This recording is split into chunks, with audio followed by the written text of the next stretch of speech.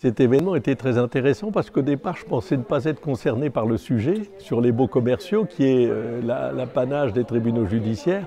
Or, euh, nous avons, avec la crise du Covid, eu à traiter euh, des affaires, je dirais, frontalières entre le tribunal judiciaire et le tribunal de commerce, qui sont les baux commerciaux. Et les modes amiables de règlement des différences sont effectivement le bon processus pour essayer de régler ce type de conflit, notamment en matière de rapport entre les propriétaires bailleurs et les preneurs et les tribunaux de commerce, avec les procédures amiables notamment et la conciliation, ont été amenés à utiliser cette procédure très souvent pendant cette période-là et maintenant vont continuer à l'utiliser parce que ça satisfait pratiquement toutes les parties. Ma position, elle est très simple, c'est qu'un euh, bon arrangement vaut mieux toujours qu'un mauvais procès. Et par conséquent, à partir du moment où les parties peuvent, je dirais, euh, perpétuer leur rapport dans le cadre euh, d'un accord renouvelé euh, et par conséquent faire en sorte que les intérêts économiques en jeu soient préservés, eh bien euh, l'écosystème s'en retrouve forcément conforté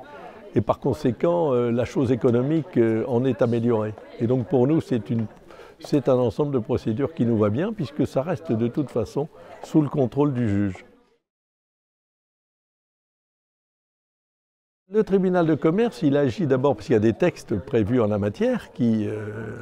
font en sorte qu'il soit saisi, soit c'est les dirigeants eux-mêmes des entreprises concernées qui, soit pour le bailleur, soit pour le preneur, euh, saisissent les autorités compétentes et donc demandent soit au tribunal en contentieux, soit au président du tribunal en procédure amiable, eh bien, de regarder le conflit et d'essayer de le résoudre.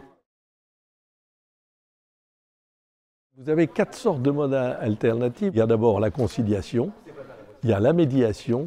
il y a l'arbitrage et puis euh, les, procédures transactionnelles euh, qui existent dans tous les pays d'Europe. Alors en ce qui nous concerne, eh l'arbitrage, c'est hors champ judiciaire, donc nous n'avons pas à en traiter. Euh, les clauses compromissoires permettent, lorsqu'elles sont prévues dans les conditions générales d'achat ou de vente, eh de faire en sorte que l'arbitrage prévaut sur la solution judiciaire. Mais dès qu'on euh, n'est pas dans l'arbitrage, on revient dans le domaine du judiciaire et dans ce cas-là, les modes amiables de règlement des différends, ce sont la conciliation ou la médiation.